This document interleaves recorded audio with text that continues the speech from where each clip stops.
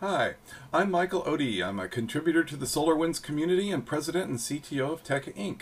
And today we're going to pick up with part two of migrating databases to in-memory OLTP. And I'm going to show you how you use the Analysis, Migrate, and Report tool to do that.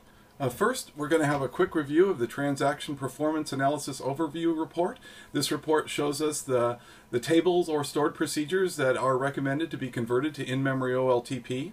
Then, I'll show you how you can actually do the conversion by running the Memory Optimization Advisor. Uh, next, we'll dig into some sample schema changes. Um, the schema changes that you might have to make depend upon your application, but you'll see the kinds of things that might have to be changed. And then we'll look at actually performing the memory optimization for a couple tables. So let's jump in. If you remember in part one, uh, we created a management data warehouse. Then we ran a workload and we captured that workload. And we are now, or we did a report on that workload to see uh, what was recommended to change over. And we ran this transaction performance analysis overview. So let's go ahead and kick off that report again, have a quick review of what it looks like. And you can see it's retrieving the data here. It takes it just a second. And we jumped into our table usage analysis, which you can see here. And it's pulling it back. It takes it just a second. So we were interested in the TPCC database. So we drill into that database and we looked at the tables that it was interested in there.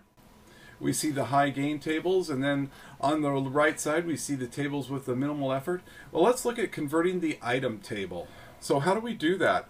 Well to perform the conversion let's open up our TPCC database and let's go over and we'll first look at the item table. And by selecting it and then we can right click it and bring up the context menu and from that context menu we should see our Memory Optimization Advisor. So let's go ahead and run it. So the Memory Optimization Advisor will go ahead and if the table is fine, it will perform the, the memory optimization for us, but it's first going to do an analysis of the table. We know there's a little bit of work to be done on it because it says there was um, some or a, a minimal amount of migration work required. So let's kick off the migration here. And here we can see the Memory Optimization Advisor. It presents us with a wizard that we can step through to migrate our objects. So when it does the migration validation, it performed an analysis and it tells us one of the things that's stopping us from performing the migration right now. The following unsupported indexes are not defined. So there's a nullable index column on this table. And it doesn't like that. So we can go ahead and change this and also the non-primary unique key. So I can get in and make a couple quick schema changes and then continue and we'll try to migrate again.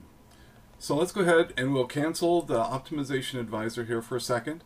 And now let's go in and use the designer and we'll make a couple changes to this table. Remember, the first thing it said is it didn't want the ID column to allow nulls. So let's change that. And we'll go ahead and save the change. So this will take it just a second while it goes ahead and makes the change. And then remember, the other change was that um, it did not want this index. So let's pull the index out of here. Now we've gone ahead and, and deleted the index. Let's go ahead now and rerun the Memory Optimization Advisor for this table. And now we can see that We've gone ahead and everything is supported now. All is good. Let's go ahead and hit next. And at this point, it's given us a couple warnings for information. We're going to go ahead and hit next again. And now it's going to create a new file group for us. It's giving us a path for the file group where it's going to save it. And it's also going to rename the original table so we're not going to lose anything. Let's go ahead and hit next. Next, it's going to ask us what kind of index that we want to create for this uh, table, and we are going to choose uh, the hash index for it. And we are going to give it a bucket count, and we'll just go ahead and select the default here. And at this point, the table is ready to be migrated. So let's go ahead and hit the button, and the migration has been started. So now it's actually migrating this table to in-memory OLTP. And this shouldn't take it too long to do this. It's going to go ahead and copy the data, move it over into the new memory optimized file group. So let's go ahead and click OK.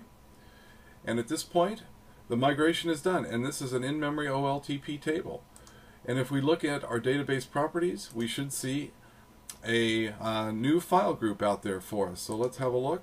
And there it is, our memory optimized file group. So the, the AMR tool has gone ahead and converted a table for us.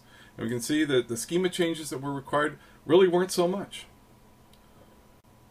Well, that was it for part two of using the Analysis Migrate Report tool. Uh, thank you for watching.